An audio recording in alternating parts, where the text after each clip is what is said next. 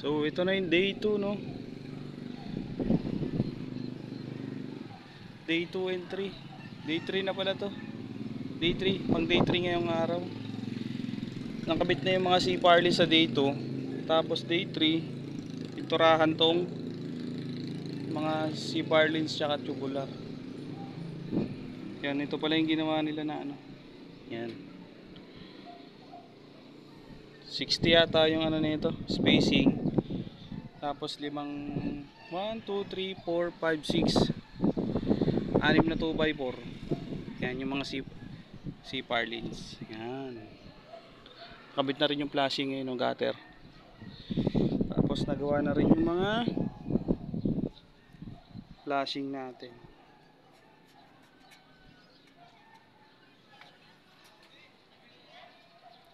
Yan. Tapos yung mga ano naman, poste, yan. Nakakapit dito yung ano, sa tubular eh, no? nakakapit. Katulad nun eh, no? Naka, nakakapit yan. Nakayakap sa tubular. Yung mga ano natin.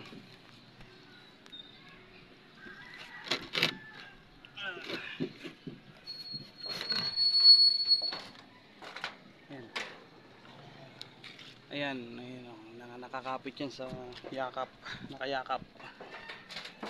Sa tubular. Yan, day 2, day 3. Yan, day 3 to ngayon. Ayan, tapos yung mga dugtungan ng tubular, pinilagyan ko rin ng mga steel bar yan. Ayan oh, mga nakakapit yan. Nakakapit sa dowel. Yan. Alright.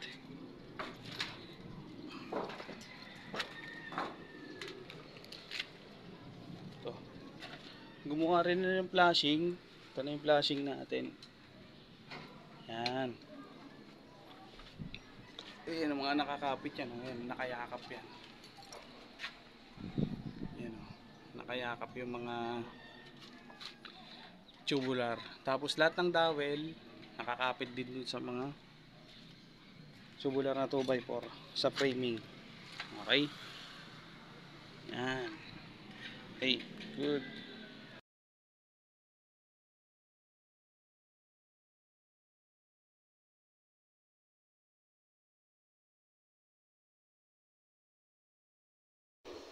So, yun, ito na nga ano. Inilalapat na nila yung yero. So, bali yung yero pala na ginamit ko dyan, ay yung 0.4 lang, manipis lang. Tapos yung kulay pula na long span. And then 12 feet. So, sa 50 square meter, ang nagamit dyan ay 14 na piraso, no?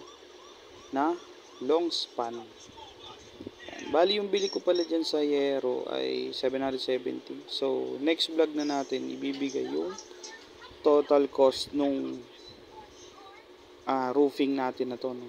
Pero matutuwa kayo sa cost nito kasi mabait din yung nakuha natin contractor. Hindi, ma- hindi mahirap kausap.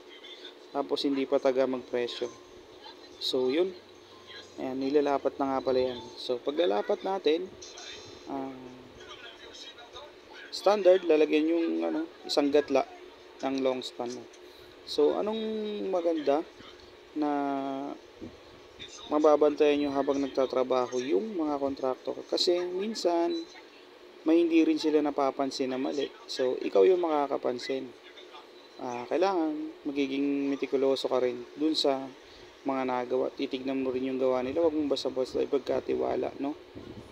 Dun sa mga kontraktor. Kasi, yun nga, tao lang din sila, hindi rin perfect. Kaya, minsan, kailangan marami kayong nando na tao bago mapansin yung sablay. Pero more on goods naman. So ito na nga yung portion namin ni Mrs. No? Pininturahan na namin yung mga tubular tsaka C-par lens dun sa ilalim. Kasi napinturahan na yung taas niyan, yung ilalim na lang. So yan. Okay. Pinturahan na natin yan. Yan.